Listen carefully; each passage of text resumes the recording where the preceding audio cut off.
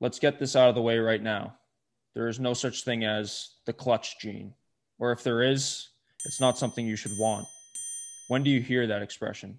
When a guy's under pressure, steps up at the last minute, and makes something miraculous happen. Everyone goes nuts about how clutch the guy is. And for days, there's a big discussion about the so called clutch gene, whatever the hell that is. I still don't know. And who has it and who doesn't, and who you can tell on about this completely false premise. There is no clutch gene. There's your predatory instinct that tells you to attack and finish the fight. And there's the readiness to know how and when to do that. So that's a little intro to this first chapter that we're reading on this episode. And it's when you're a cleaner, you're not intimidated by pressure, you thrive on it.